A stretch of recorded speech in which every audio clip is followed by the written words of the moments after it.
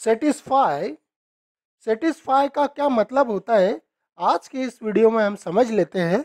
Satisfy word का हिंदी अर्थ होता है, इच्छा पूरी करना, संतुष्ट होना, संतुष्ट करना, तृप्त करना, शांत करना, पूर्ति करना, समाधान करना या पूरा करना। आइए सेटिस्फाई वर्ड को हम कुछ उदाहरण के माध्यम से और भी अच्छे से समझने का प्रयास करते हैं। हमारा पहला उदाहरण है it is impossible to satisfy all your demands इसका हिंदी मतलब है, आपकी सभी मांगों को पूरा करना असंभव है। आइए दूसरा उदाहरण और देखते हैं।